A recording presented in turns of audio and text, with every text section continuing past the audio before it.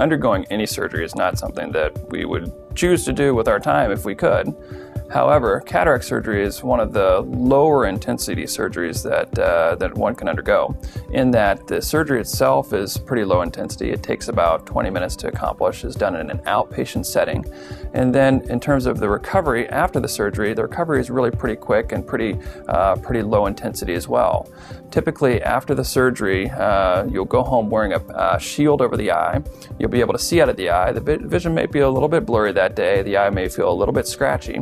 Uh, but typically, by waking up the next morning, the eye is feeling pretty comfortable and the vision is usually pretty good at that point. Um, from there on, it takes about a week or so for the lens uh, implant that we put in the eye to fully settle into place. So there may be some mild fluctuation of vision during that time. But typically, by about two weeks' time, things are pretty stable, um, and the final vision outcome is uh, is obtained in terms of what else you have to do, you use eye drops for about a month after the surgery just to help with the healing process.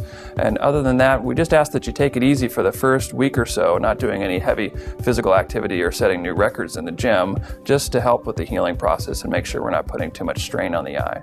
Uh, besides those things, a patient can really go about their normal activities, do their normal work. Uh, they can read and drive just like they used to. And uh, we, we think cataract surgery should be uh, not very burdensome on the patient, and we try to make uh, every effort to make it that way.